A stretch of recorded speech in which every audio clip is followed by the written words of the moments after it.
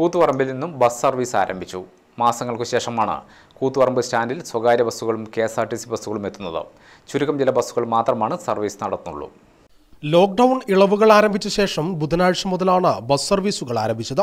എന്നാൽ ബുധനാഴ്ച അപൂർവം K S R T C ബസ്സുകളാണ് നിരത്തിലുണ്ടായിരുന്നത്. തുടർന്ന് ഗതാഗത വകുപ്പ് മന്ത്രി നടത്തിയ ചർച്ചകൾക്ക് ശേഷം വ്യാഴാഴ്ച മുതലാണ് സ്വകാര്യ ബസ്സുകൾ സർവീസ് ആരംഭിച്ചത്.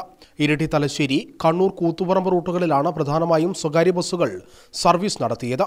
സർക്കാർ മാനദണ്ഡങ്ങൾ പാലിച്ചുകൊണ്ടാണ് സർവീസ് നടത്തുന്നതെന്ന് തൊഴിലാളികൾ പറയുന്നു. ബസ്സിൽ യാത്ര ചെയ്യുന്ന യാത്രക്കാർക്ക് നമ്മൾ സാനിറ്റൈ സാനിറ്റൈസർ കയ്യിൽ കൊടുത്തിട്ട് അവർ നല്ലോണം വാഷ് ചെയ്തിട്ടാണ് ബസ്സിൽ യാത്ര ചെയ്യുന്നുള്ളൂ അതേപോലെ കണ്ണൂർ ഇടുന്ന ഇടുന്ന് വിട്ട് കണ്ണൂർ എത്തിയപാട് നമ്മൾ എല്ലാ കമ്പിയെല്ലാം കൃത്യമായിട്ട് സാനിറ്റൈസർ കംപ്ലീറ്റ് തുടച്ച് വൃത്തിയാക്കുന്നുണ്ട്. അതുപോലെ മാസ്ക് ഇല്ലാത്ത ആളുകൾ കയറ്റുന്ന ഇല്ല? മാസ്ക് ഇല്ലാതെ ആരും ഇതുവരെ വന്നിട്ടില്ല. മാസ്ക് ഇല്ലാതെ നിർബന്ധമായിട്ട് മാസ്ക് വെക്കണം എന്ന് പറയുന്നുണ്ട്. മാസ്ക് വെച്ചിട്ട് മാത്രമേ നമ്മൾ ബസ്സിൽ യാത്ര ചെയ്യൂ അങ്ങനെ ആരും ഇതുവരെ വന്ന് ഇന്ന് ഇതുവരെ ആരും വന്നിട്ടില്ല. ലോക്ക്ഡൌൺ സർവീസ് നമ്മൾ ഇന്ന് തുടങ്ങിയത് ഇന്ന് തുടങ്ങിയ സർവീസ് അങ്ങനെ ആൾക്കാർ യാത്രക്കാർ കുറവാണ് യാത്രക്കാർ ശരിക്കും പറഞ്ഞാൽ ബസ്സുകൾ ഓടുന്ന അറിയില്ല എന്നാണ് തോന്നുന്നത്. അതുകൊണ്ട് പൊതുവേ ഇന്ന് യാത്രക്കാർ കുറവാണ്. ഇതുവരെ ഓടിയിട്ടൊന്നും വലിയ ഗുണമൊന്നും ഉണ്ടായിട്ടില്ല. പക്ഷേ ഇനി യാത്രക്കാർ അറിഞ്ഞിട്ട് യാത്ര ഉണ്ടാവുന്ന പ്രതീക്ഷിക്കുന്നു. ബസിന്റെ പിൻവശത്തെ ഡോർ വഴിയാണ് യാത്രക്കാരെ കയറ്റുന്നത്. അവിടെ നിൽക്കുന്ന ജീവനക്കാരൻ യാത്രികർക്ക് സാനിറ്റൈസർ നൽകി അണുവിമുക്തമാക്കിയ ശേഷമാണ് ബസ്സിനുള്ളിൽ കയറ്റുക.